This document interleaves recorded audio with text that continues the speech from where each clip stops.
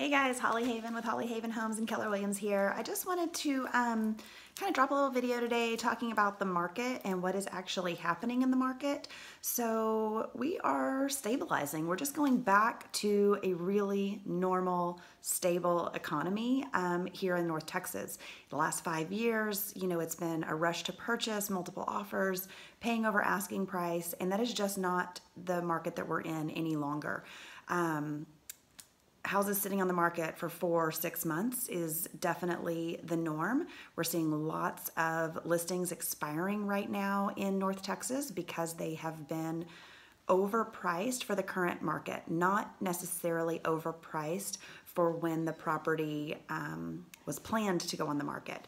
But this is the market that we're in because we've had this little change. So it's really a great time for investors.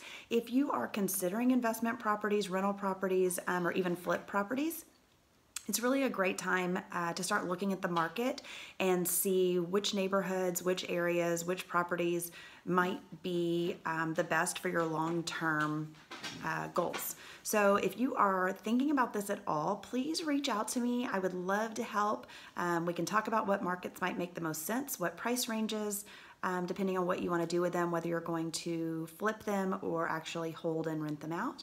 So um, if you have any questions, reach out. I'd love to chat and uh, explain how I can help you grow your own wealth during this slower market time.